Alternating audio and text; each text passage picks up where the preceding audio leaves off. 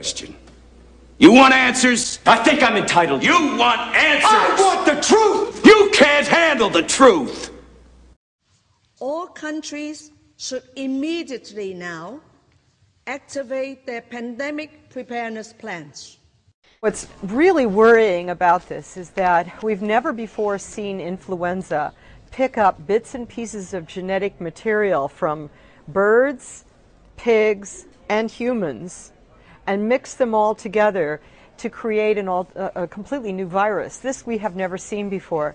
The other thing I'm worried about is that we have in circulation in North America another type of a very, very close sibling to this virus.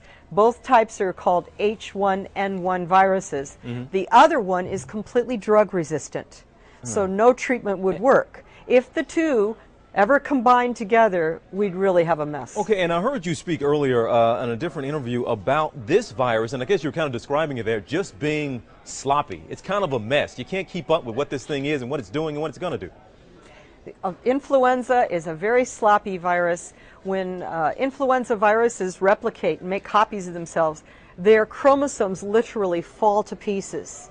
And they pick up whatever's in the environment around in the cell that they are infecting, whether it's a pig cell, a bird cell, a human cell, whatever it may be, and absorb that genetic material and then come back together again.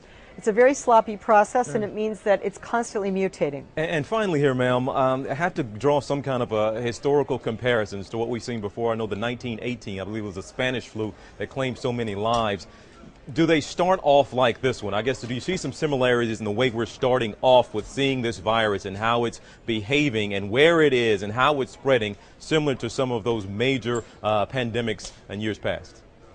Every pandemic has its own characteristics. Mm. In 1918, they didn't have commercial air travel, so mm.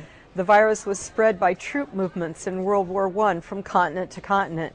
Today, everything goes faster, the speed of this is breathtaking, and it's because everybody's on the move and we have airplanes. So I don't think you can really compare the first steps of this to right. 1918.